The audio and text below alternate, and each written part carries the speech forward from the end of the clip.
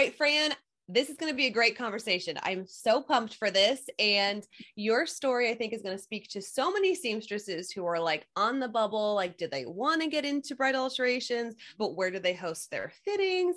And you do this so well. So, thank you for being here today and uh, being ready to share your story a little bit. Thank you for inviting me. I'm excited. Yeah. So we were just chatting before we hit record about your life before um, sewing or before your sewing business. Yes, You're right. sewing a lot of your life.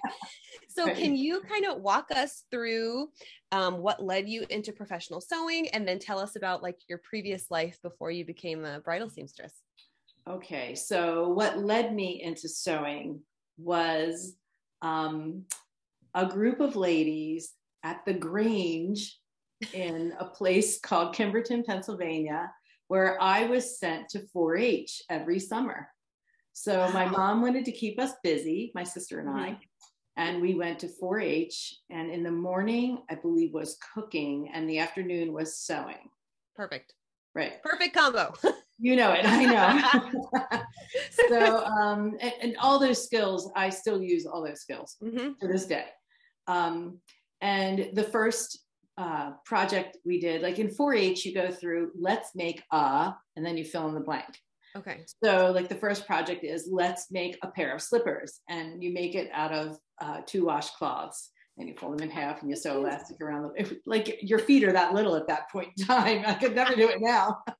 right? And then like to let's make a skirt, let's make a dress, let's make a wool skirt. That's when people start to drop out because mm-hmm. it's in the summer. You're making a wool skirt who wants to wear that in the summer yeah. and you have to line it you know? okay yeah mm-hmm. that's hard yeah so that's where i acquired my sewing skills and always was sewing yeah throughout my life and my mom was pretty good seamstress too she took those stretch and sew courses way back when they had them when you learned how to sew with knits and oh fun yeah. so it was, it was fun you know to to compare what we were doing and mm-hmm. those were all good times that's for sure yeah yeah. So when I decided what I was going to do for a career, I went into teaching. I went into mm-hmm. music because I love singing. I played the flute and I played the piano and guitar. And I was like, let's just do this. Why not do something you love for a living? Right. Right. Right. So Cheers I did, right. I know. I know. That's what you do. So I did that for about 12 years. And then at that time in education, um, arts were being cut from budgets. Mm-hmm. And I was like, this cannot happen. And when you would try and talk to a school administrator, it was like you're speaking Greek. They didn't understand anything I was saying. So I thought, you know, right, been there, done that. Yes. yeah. So I thought, okay, why don't I become an administrator? Then I can advocate for the arts. Mm-hmm. So I Love did it. that. And it was cool because I was always like the principal and the fine arts coordinator. That was always mm-hmm. my my side gig in the school system because you have to do your education job and a curriculum piece. Okay. So I was always the fine arts person, and the music and art people were so thrilled to have someone who understood what they were doing.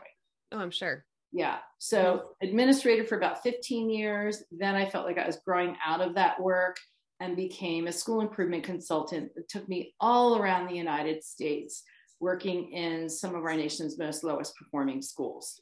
Wow. Yeah. So that so was would fun. that be like a would that be like you'd work with a specific school for a week or would you work with individual teachers or what did that look like? I would work for a school system or and be placed in a school and um, do professional learning and then I would coach the following week.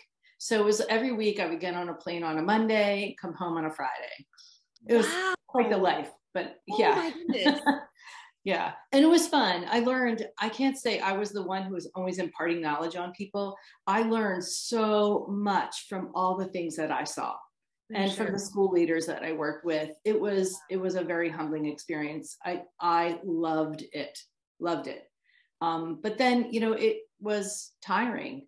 Mm-hmm. And I was always sewing for people all throughout my life doing like um because in college yeah uh, i my like my senior year in college i was at a friend's wedding and we went for to this little mom and pop business lorento's in West Chester and they're like um uh, oh, we're just so short staffed. And my girlfriend says to the owner, um, well, my friend Fran, she sews. and there, and the owner, Paulette, was like, oh, okay, great. Um, can you come in for an interview? and I got the job. So that's where I learned about bridal. She taught me everything I know about bridal. Paulette Lorento. Oh my goodness. Thank Sweet you, Paulette. French woman. Yeah. Mhm. So like it was like this parallel thing was happening. You know, I Mhm. would sew for bridesmaids, friend, friends who were bridesmaids, Mhm. and for myself when I was a bridesmaid, Yeah. and um, worked in that salon, worked in another salon um, many miles from where I live here. And uh, while I was teaching, because Mhm. at the time teachers were not being paid anything, and I needed Right. supplemental income, you know. Mhm. And then when I decided maybe I should think about what I'm going to do when I retire, Mhm. um, both my daughters were in the wedding industry. Oh, that's right. Okay. Yes. Yes. Yes, I have a daughter who is a, a wedding cake artist, um, Mhm. Floretta Sweet, just in case you want to know. Mhm. Oh, we'll add And, that in the um, show notes for sure. yeah. And my other daughter, uh, my youngest daughter, um, was doing signage at the time. She now has Okay. another job, but um, and they would start to say, "Oh, mom, you you could do this," and um, so I started to take people in, and they started to recommend people, and the word got out, and before you Mhm. know it. People are traipsing through my house, going up to my bedroom to try things on, and I'm sewing, and I'm like, okay, I think it's you know one's getting bigger, the other job's getting smaller due to COVID, Totally. and I was like, so it's time. Mhm. So that's what I Wait, did. So this was so recent. oh, oh yeah. Well, I have been an LLC uh, since May of um, 2018.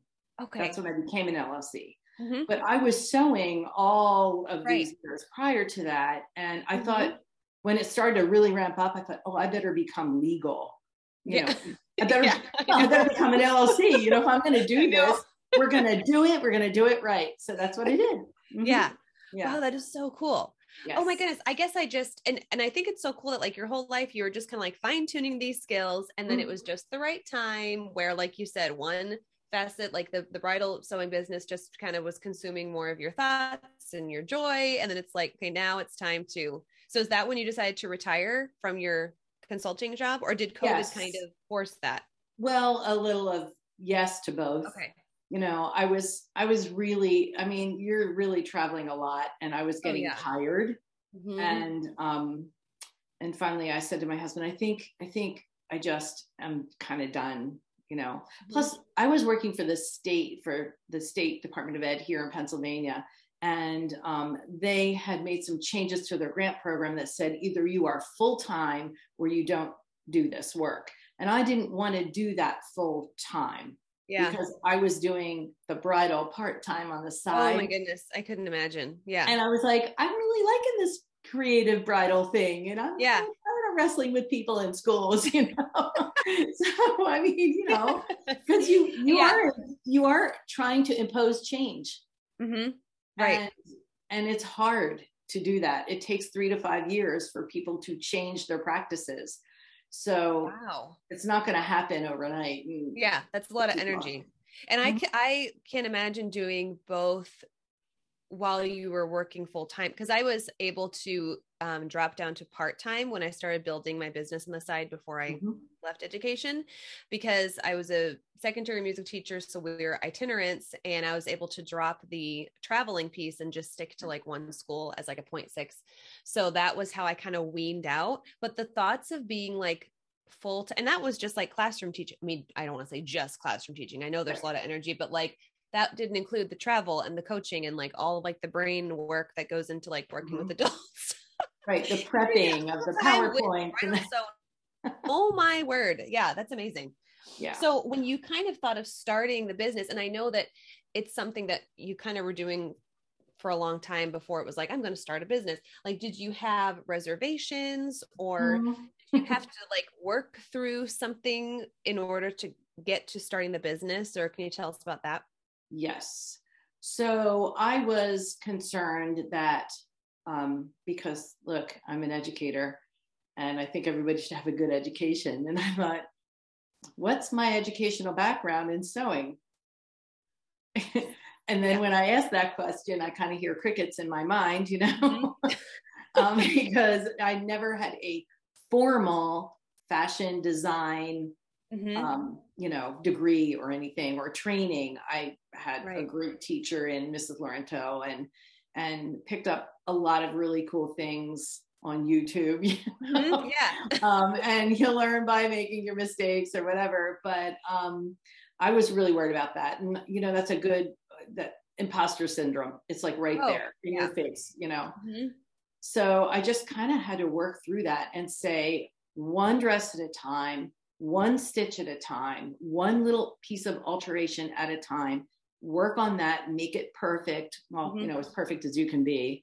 Right. Um, and and go from there. But yeah, that at first it was like, do I really know what I'm doing? Ooh. Yeah. Yeah. Yes, yeah. and, and I think too, like like you said, one dress at a time, and then knowing that you can say no to things. Like mm-hmm. that was so freeing. My mother-in-law told me that, and she's like, you can say no and only take on the jobs that you feel really comfortable and confident with. And then when mm-hmm. you're ready, you can learn new skills. And that was so freeing to be like, oh yeah, I can say no. I don't need to like bend over backwards and like have nightmares about this dress.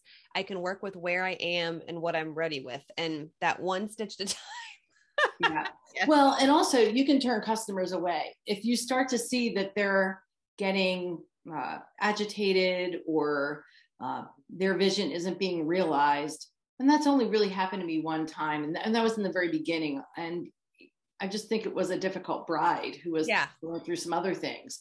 Okay, and I, I literally feel like our lives are so mirrored because I had I it was at the beginning of my bridal sewing career I had a similar bride that I had to turn away and everything about that experience so much about how to mm-hmm. read brides, how to self, how to have that awkward conversation.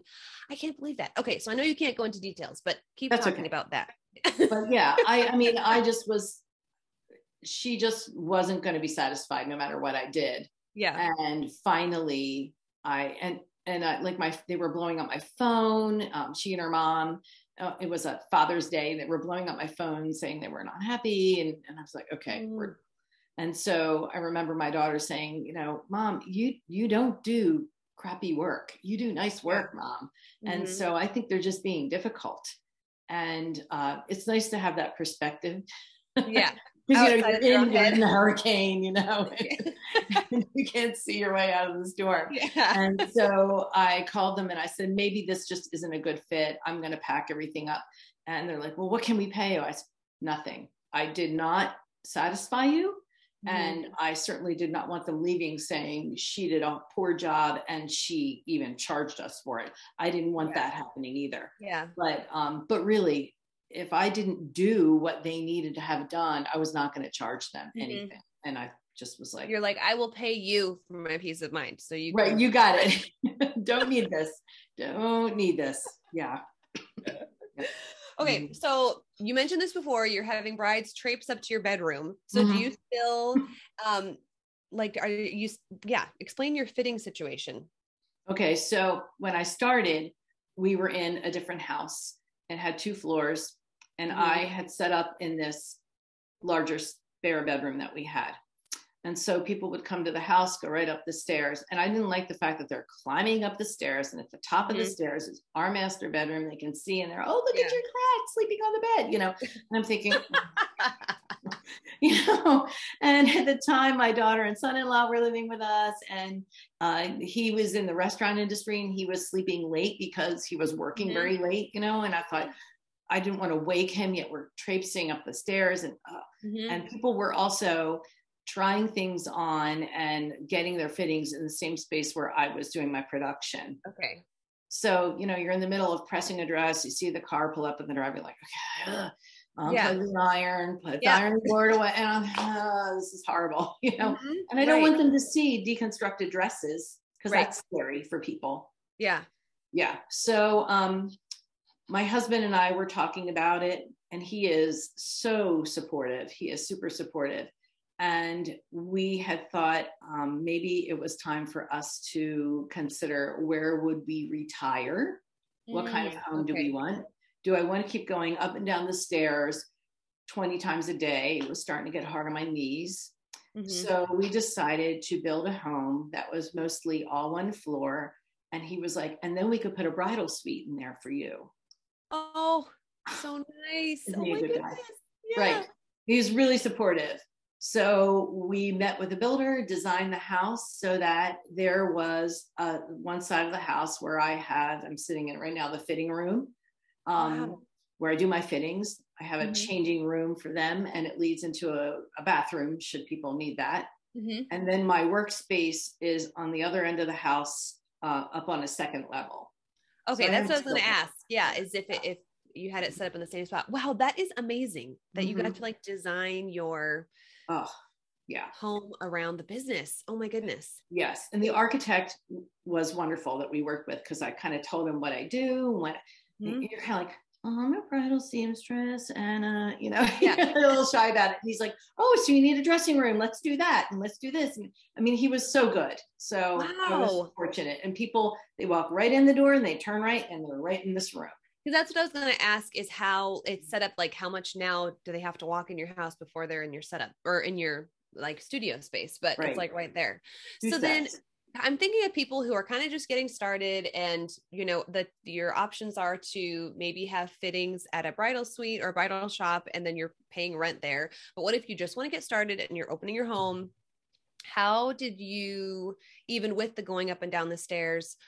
And I know that was really inconvenient, but it was like a first step, right? So you kind of had Sure, to absolutely. work and then before you, you know, build the house to accommodate the business. So can like how did you prep did you have certain days of the week where you had fittings or like like your cleaning Yes. days or whatever Right. Well, I think at first, because I was just like slow and I only Mhm. had a few brides here and there, yeah I would take them whenever. But then it started to get busy. And I Yeah. thought, okay, this is not good. I have to block out time for sewing days hmm or sewing half days, whatever. right yeah And block out time for trying on, doing fittings, picking up Mhm. days. putting on makeup getting dressed You got it. Yeah. Putting a bra on, do that anyway. That's my generation. We do that anyway. So, um, so uh, yeah. So like, and Saturdays, I kind of said to myself, I am done at one o'clock. I'm finished because I Mhm. want to spend time with my husband and my family. Mhm. Um, no working on Sundays. That's kind of a thing with me. That's that's something that I won't compromise on yeah um, she says, right? and uh, you know, once in a while there's a pickup or whatever. All right, no, i in. totally get it yeah yeah. But No, um, generally, I do um, Tuesdays, Wednesdays, and Thursdays is when people come. I'm open on Thursday evenings and Saturday afternoon mornings Mm-hmm. Okay. you know, until one. Mhm. Yeah. and that's perfect because you have kind of like those three days in the middle where things can be clean or like even before when you were using your home like Mhm. those are the days when you'd have to make sure the house is clean, you know, and then you're presentable. And then you can kind of the other, the long weekend is when you could devote to just Right. working and getting the the yoga done. pants. Yeah. Yes. yeah, exactly. Yeah. I know. And even that, you know, it's the amount of time people are in your home is minimal hmm compared to the amount of time you need to sew. Right. Right. you know, right. Right. So like even though I say Tuesdays I'm open, you know, from like nine to five or nine to six or whatever, um, I don't have people here every single Tuesday nine to nine to Right. five. I don't. Right. You know. So Yeah. Yeah. Mhm. And I think, um, when before I got the shop, when I was sewing at home, even like my husband and I would arrange it so that he like wouldn't be home or you know what I mean? Cause I just didn't want the brides to hear like um, I don't know if they'd feel uncomfortable or like hear my husband's voice or something like that. You know what I mean? So they we were like he'd be like, When are they coming? Okay, I'll be out of here. And then right. you just want and my sewing room was down the hall. So it's like they had to walk through the house. So I wanted everything to look and smell prevent Yes. pres- you know what I mean? Like just Mhm. um, presentable. And I felt like the whole house was on display, you know, because you have to walk through it to get to the sewing room. And of course, I was doing everything in the same room. And I look Mhm. back, even like when I first started, and I was like, oh, like at the very beginning, it was a little bit cringy. And then once I was like, okay, I actually need to like uh, just be aware of everything. Cause I think of like my first time in people's homes, you know how you just take in everything, like There's a Mhm. smell there's like you just notice things that obviously the homeowners don't notice like living there so taking those little things into consideration like having yeah just taking it Yes. to the next And- level and this is uh, like a farmhouse. Uh-huh. you know? So it's very open floor plan, except for this side where everybody tries to put dresses on. So they walk in and they're like, ah, Yeah. all right, get in here, you know. Yeah. So look at my wall art later. Yeah. Yeah, and it's just me and my husband. So for the most part, everything is nice and tidy and neat, and, and it's all good. Yeah. Um, and I have a cat. She doesn't come in here and bother. Once in a while, she'll stand outside Cute. the door and you know meow. But So what are your favorite perks? Um, did you ever work at a even like when, when you were working in college, you went to the bridal shop to do alterations, right? Or the Yes. you worked outside the home. So you can kind of compare the two. So like what are your favorite Mhm. perks of working from home? Well, I like that I'm home. Yeah. I like that. Like, That's that always nice. perk. You know, you're watching your little show and you're like, I know someone's going to be here in 10 minutes. All right, click. And then you just Yeah. stand and wait for them. You know, I look kind of like that. Um, yeah, I'm like, mm. well, the other thing I like is that people sort of get to know who I am when they come to my Mm. house. Mhm. They can see my style, they can see Mhm. um, what I'm about, hobbies, whatever. So they get to, I think, see, with our customers, we really have to connect. Mhm. And I that's important to me is to form a connection so they trust me. And Yeah. so when they come in here, they can see, oh, this is what she's about. Oh, wow, look at that. She likes this style or that style, or Yeah. you know, or there's Yeah. her family in that picture or whatever. Mhm. So um, I think that's important, and it's just another way of, you know, make, having that personal connection. Yeah. Plus, really say, "Oh, wait, is is this new?" Or you know, because we've only been here since uh, last May, and um, Wow. yeah. Congratulations. Thank you. Yeah. So, um, you know, oh yeah, oh, who was your build? You know, we have that Yeah. conversation, or we get. To, I I'm learning a little bit more about this little community that I'm living in because it's kind of Mhm. rural out here, and just learning people. Yeah. So Yeah. nice to meet all those people too. So Right. Yeah. So have you had to set any boundaries for yourself or for your clients with I bet this will be good. with well, you know. I could work 24 seven, right? Yes. I mean, Oh, yeah. like, or you um, can start working at like 10 p.m., which is a horrible habit of mine. Like, oh Ooh. yeah, I'm just gonna whip this out real quick. Oh gosh. Yeah, I could, but I've only did that. I've only done that one or two times. Mhm. Um, but yeah, I, so I do have to say, okay, five o'clock, five thirty, I'm done. Shut it down. Mhm. You know, Yeah, or I yeah. will sit and watch television with my husband as I'm like pulling out a seam or whatever. Yeah. Really busy season, that will happen. But Yeah. um, so that's one thing. The other thing is this is the space, the space I'm sitting in. This is it. They do not need to go out and about. But I have this nice plush carpet in this fitting room. Mm-hmm. So once they're off the platform and I want to see if their hem is going to brush the floor, if they're going to fall on it, I do open up the little door and say, okay, now take a walk out into the dining room and then come back because there's hardwood out there Yeah. and and they are good with that. Now, one time I had a very bold customer. Here comes the story. I have a sunroom in the opposite end of the house that has one of those really fuzzy, shaggy rugs, you know, area Oh, rugs, yeah. Right? They're kind of fun and, you know, Mhm. and um, and it's a, a teal green color, right? Okay. So she kept telling me how she was worried that her dress was going to get stuck in the grass Mhm. right? So I was like, no, it's going to be fine. It should brush your toes, kiss the floor, that whole thing. I'm like, I made it a little shorter for her since she was worried. So we pin it all up. And I said, okay, now go take a walk out there, come back in. And she walks out into the dining room and she goes, oh, look over there. There's a rug that looks just like grass. I'm going to go. And she boldly walks to the back of the house and walks into my sunroom and it's kind of is taking the tour of the home, you know, Uh, yes. which I think really was what she wanted to do. She's using your like grass rug as like yeah, an- yeah. So I was kind of like, okay, that is not going to happen again. So now I'm like really clear. Go take one one pass in the dining room, then come right back. Okay, then they do it. like, like tape or like a baby gate. It's like. Yeah, that is good. so funny. One time we, uh, I was working with a bride and she was really easy to work with and she wanted just something Mm-hmm. adjusted to her neckline, but her mother was very uh, involved. Mm-hmm. Say that.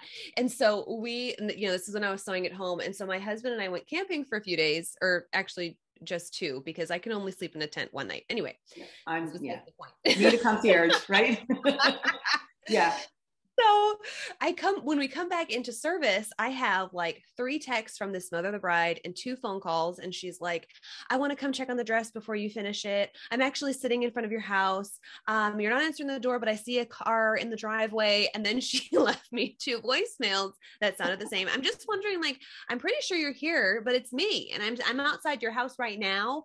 And I was like, oh my goodness. I was so thankful that we were like literally like in the woods, you know, so she can right. find me. It's also like, what? It's almost like that assumption that okay, this is your house, so clearly I can just come when because I know you live here and you should be right. here because your car's right there. It's like, ah!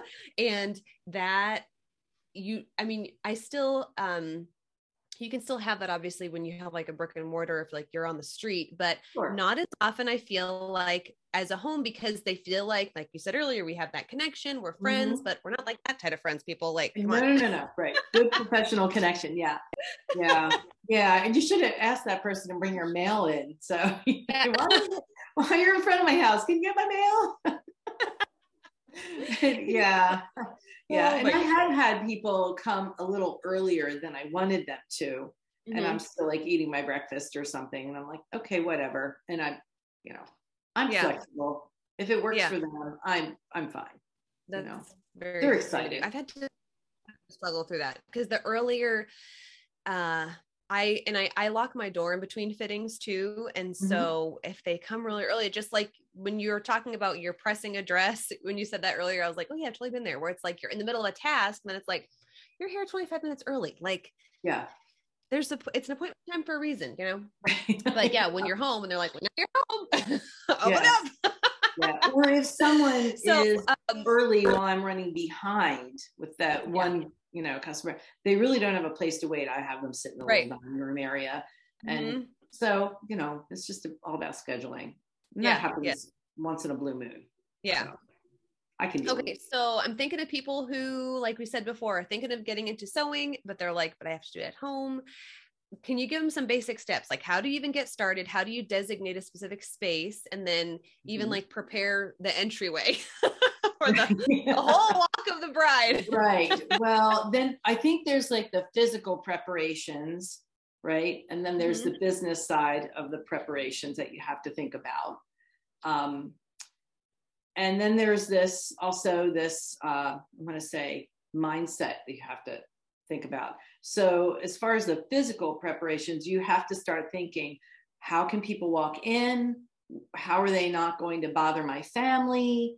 Mm-hmm. um, what time do i like how am i going to set up those boundaries mm-hmm. okay and even how am i going to set up boundaries for myself right and um, how big do i want this to get right yeah, i mean yes. i probably could get bigger if i hired someone else because i'm mm-hmm. turning people away mm-hmm. um, but uh, i don't have a room for another seamstress here and yeah. i don't think i want to get that big in mm-hmm. my life, you know, right. And other things happening for me. So I, I want to do that. Yeah. So you have to kind of ask yourself those questions. Um, mm-hmm. And also you have to, Now, I'm fortunate. I have a really supportive husband and I've had the business support me to get a nice industrial machine, a really good industrial steamer iron and the nice mm-hmm. table for it although I have also gone to my local Habitat ReStore and I found a really huge conference table and moved it up into my sewing room. And it's this really great conference table that I can cut things on and even use my rotary cutter on because I'm what do I lose, you know? Right? Yeah. I'm not going to use it as a conference table. It's my sewing table. So I just dull the blade a little faster. Yeah. you know? But um, so you have to think about that. Also, I I'm worried about the handicap accessibility. In my mm-hmm. first location, if someone was handicapped, they could not come. You know, mm-hmm. while we were building this house, we had to live in an apartment um, because we were just in between, you know, our other house quickly, and we were building this one. And that was really cool because we had an elevator and people could, you know, I did want have one girl in a wheelchair that needed to come in. So mm-hmm. she had to come here. There's one step up to our porch and one step into the house.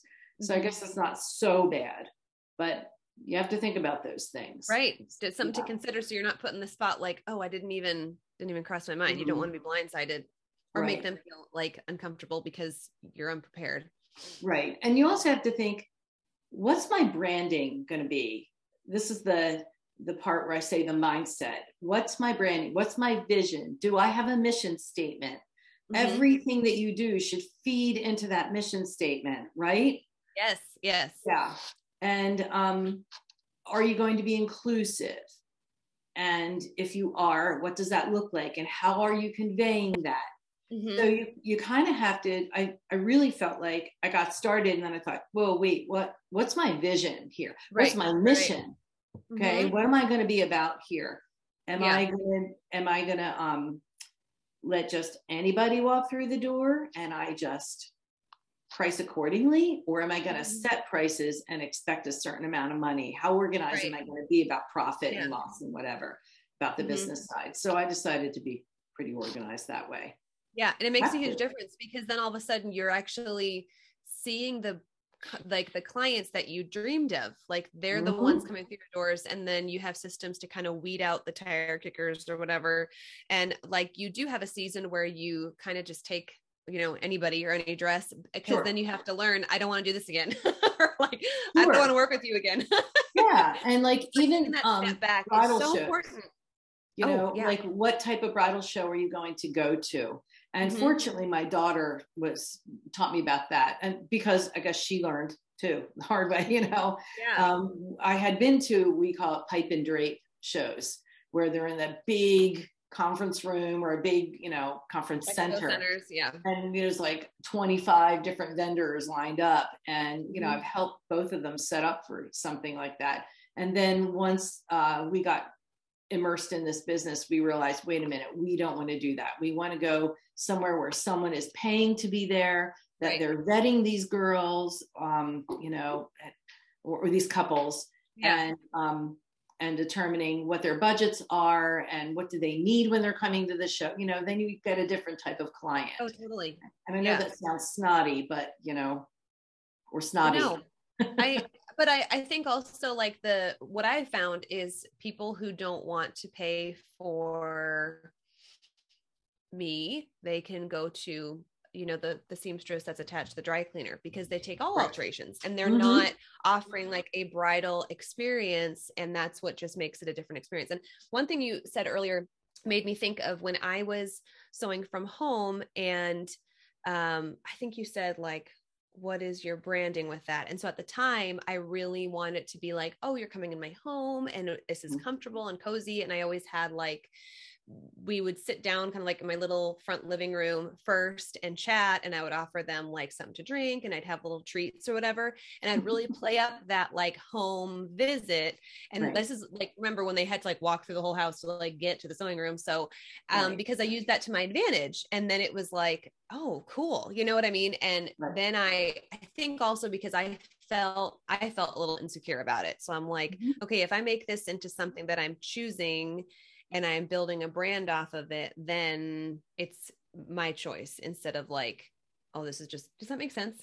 Right. Who's driving the bus, pretty much. Yeah, yeah, yeah. You know, um, you, and are they I, taking the lead from you or are you taking the lead from them? right. Know?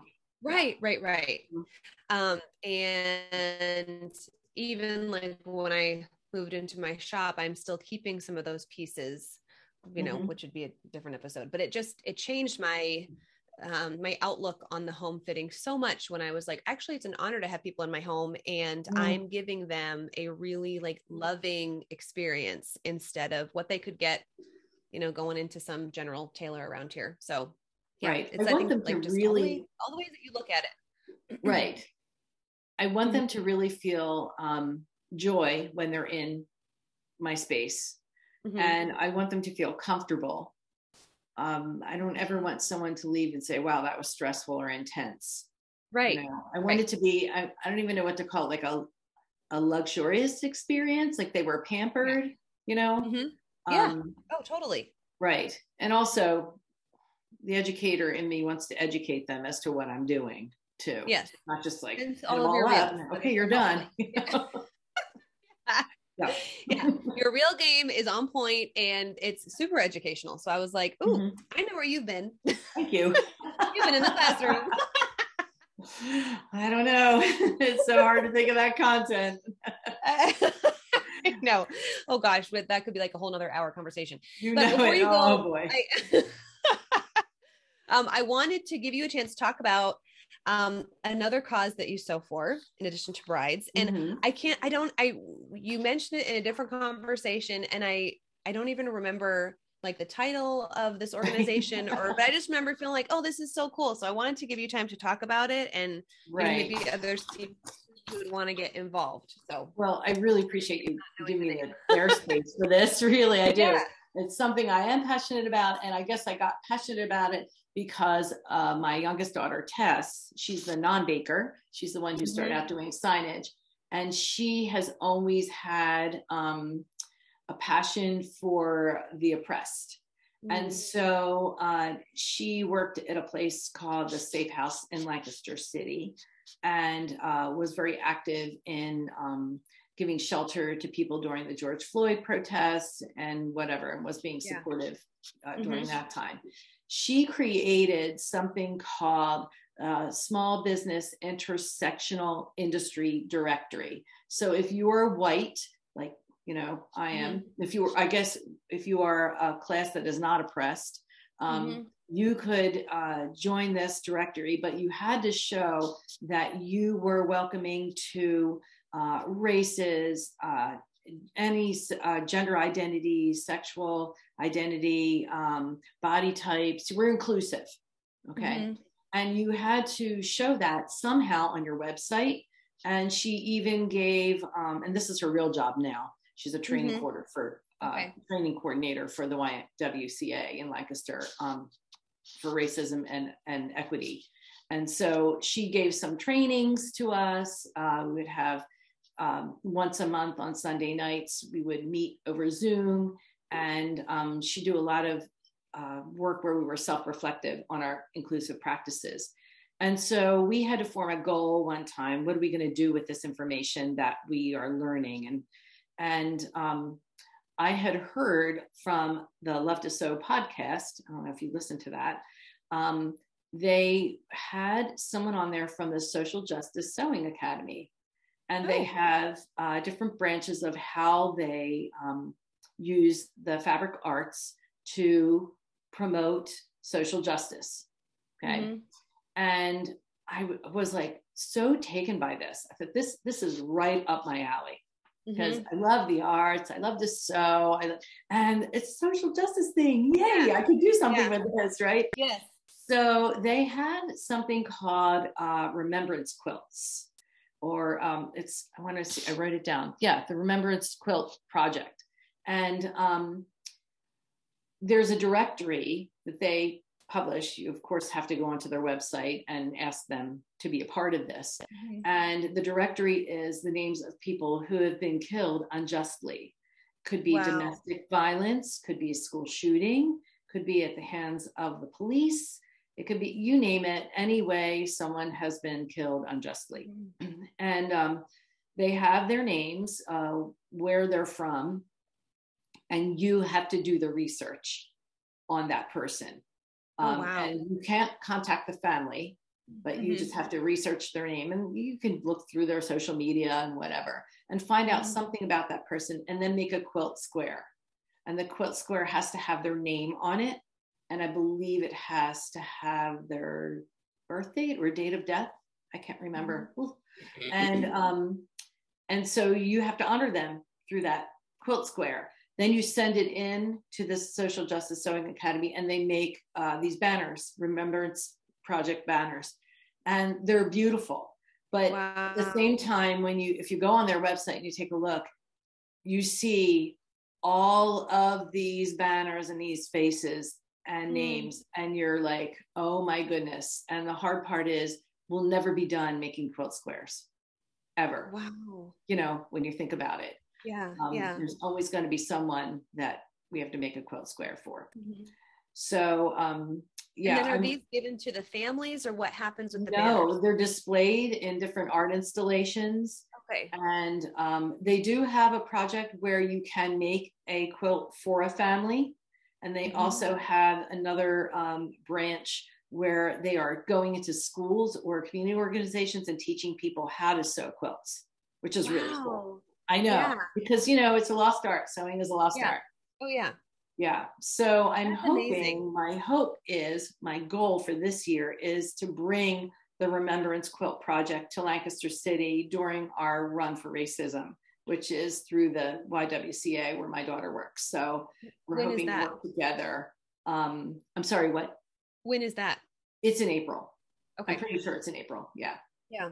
Yeah. Because I, that is just the neatest idea. Cause I, you know, like if you've read the book Just Mercy and you're like, I want to do this, but I'm not a lawyer, but like, what do I, you know, it's like mm-hmm. just that was just making me feel like this is how we could get involved or like mm-hmm. it just, it just brought a tear to my eye. Like just thinking of yes.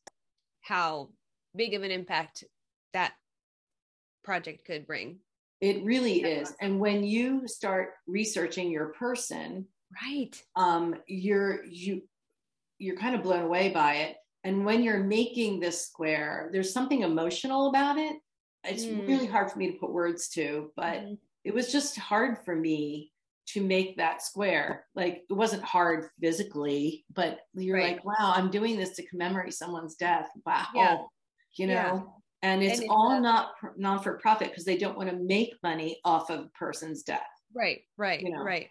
Yeah. And you're learning about and knowing the person behind the headline or whatever is being right. whatever we see through the media you know what i mean it's mm-hmm. the like the the heart and soul behind it so right amazing so yeah. um it's the sewing um the social, social justice sewing academy. academy. okay so i'll find a link and share that um in sure. the show notes too so mm-hmm. that is really special thank you for yeah telling us Pretty about cool that stuff yeah i know yeah it's, it's exciting yeah and it sounds like you have um, some pretty cool daughters too. So. I'm so fortunate. They're so much fun. You know, I mean, sometimes your kids can get on your nerves. Mine have never really done that. maybe once in a while, but yeah, I, am fortunate. Give you the gentle yeah. nudges to get into business, so they just sound like yeah. Awesome well, people. and it's, we bounce, you know, we bounce ideas off of each other, and my yeah. poor husband and their husbands have to hear all about weddings yeah. when we're together. Because even my youngest, she still does signage for um, the place where she got married. They um, they saw her work, and so mm-hmm. they asked her to work for them. So mm-hmm. she does wedding signage for them. They have a so really cool. neat elevator that's all chalk paint, and so someone does something for the couple in the elevator, you know, oh, to represent so cool. them. So she does yeah the drawing. It's really cool stuff. So yeah, it's fun. You know, yeah, we're a creative group. She did my um Tess, did my logo. I, I noticed that. I was like, I love yeah. that you have a little fleece jacket of your. I need to get some clothing. No, it's like a little, yeah, it's a little shirt. I don't know yes, what company I got is. this from. I I asked them to, you know, put it on there for me. Yes, so. Love it, love it. you for spending your morning with me because I think, like I said, this is just really encouraging to, and we talked about this before we hit record that term, maybe after that term, imposter syndrome of how it mm. comes so, it just can be really overwhelming. And there's no need to be because you just start where you're at and then you can either continue, you know, at home or you can, like in your case, build a new home specific to the business or move, yeah, but you got to start somewhere. Mm-hmm. So just getting over those initial setbacks and any you can do it. Look if i can do this you can do this. Because yeah. you know i'm not the newest kid on the block okay? So you know i've been around the block okay? And i've had to learn about social media and i've had yeah. to learn about branding. And mm-hmm. you know i did learn some of that when i was doing consulting because i was working for a business not a school yeah. you know? But boy i the social media piece and i'm constantly saying to my to my daughters okay what what did you think about that did you see my reel did you see my latest reel you know i was like am i doing all right what's my what's my grade you know my report card grade on this I'd say it's awesome. Like, oh, well, thank you. Yeah, seriously. Mm-hmm. Wow. Yeah. Okay, well, um, I will see you next time I'm in uh, Pennsylvania. I got to plan a trip to Lancaster now, or we can yes. go to like a Sight and Sound concert or something together. That would be great. Yes, plenty of things to do here in Lancaster. Yeah. Perfect. Well, thank you, Fran, so much. Great. I can't wait to share thank this. Thank you.